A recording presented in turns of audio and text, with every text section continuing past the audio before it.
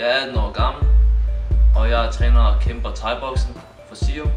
Som junior har jeg vundet af guld til øh, DM, Europa Cup, NM, og så er jeg kåret som Fight of the Year i 2011 af DMF. Og sidst og ikke mindst, så er jeg Danmarks første junior verdensmester. Og i år er mit første år som senior. Der har jeg vundet DM, og jeg blev for nylig øh, nordisk mester. Hvad får dig til at blive ved, efter at have vundet kampe som øh, DM, VM og NM? Det er træning generelt, men øh, det er det kun begyndelsen af min karriere som fighter. Jeg er stadig ung og stadig under udvikling, hvor jeg er en ny modstand for hver dag, der går. Og det motiverer mig ekstremt meget med at fortsætte med det, jeg gør. Ellers så mangler jeg at være aktiv en del i den professionelle verden. Så ja, det er det knap begyndelsen. Det er kendt fra andre lande, at guldvindere ved VM eller EM bliver belønnet med et beløb. Var det også tilfældet med dig? Det var ikke tilfældet med mig, nej. Grunden til, at jeg har kæmpet VM og har vundet 4-5 kampe derovre og vundet guld, det, det gør jeg for mig selv. Jeg gør det, fordi jeg brænder for det, og jeg virkelig elsker det her sport. Og jeg vil være nummer et, den bedste. Og jeg vil udfordre alle lande, som stiller op. Du er stadig ung og har en stor fremtid foran dig. Hvor langt vil du gå for den her sport? Jeg vil gå så langt, som jeg kan. Jeg, jeg vil være den bedste med vundet titler så, som øh, uh, WMC og IFMA verdensmester under A.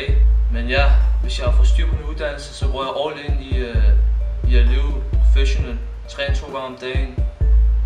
Kæmpe. Hele tiden.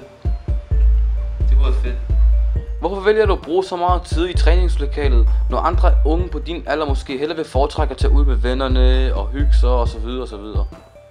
Jeg hygger mig med mine venner og i klubben siger, Det, det er som min familie, ikke?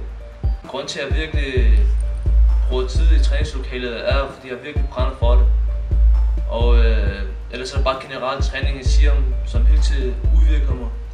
Det gør, at jeg øh, er villig til at møde op hver dag til træning. Ellers kan det være, at jeg er måske utålmodig i at være professionel eller den bedste. Være den bedste i verden. Der er mange dygtige modstandere i din vægtklasse i Danmark. Hvis du selv skulle vælge en at kæmpe imod, hvem skulle det være, og hvorfor? Hvis jeg skulle vælge en, så har jeg nok valgt Stefan Weiser. Da jeg mener, han har oplevet en del af thai i verden, som mange ikke har her i Danmark.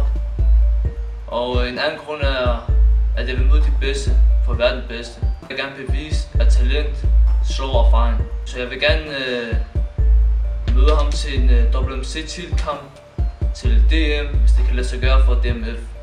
Hvor ser du dig selv om to år i den her sport? Jeg ser mig selv øh, sammen med de bedste, både i øh, K1 og Muay Thai, øh, hvor jeg dominerer vægtklassen minus 70 kilo. Er der noget specielt, du gerne vil sige til de folk, der følger med? Selvfølgelig. Tusind tak for jeres opbakning og øh, den støtte, de har givet mig indtil nu. Det betyder enormt meget. Øh, tak til min familie, Sium, fansene,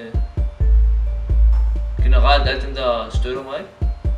Og øh, sidst og ikke mindst, tak til Fight News, øh, som har en stor betydning i thai verden her i Danmark.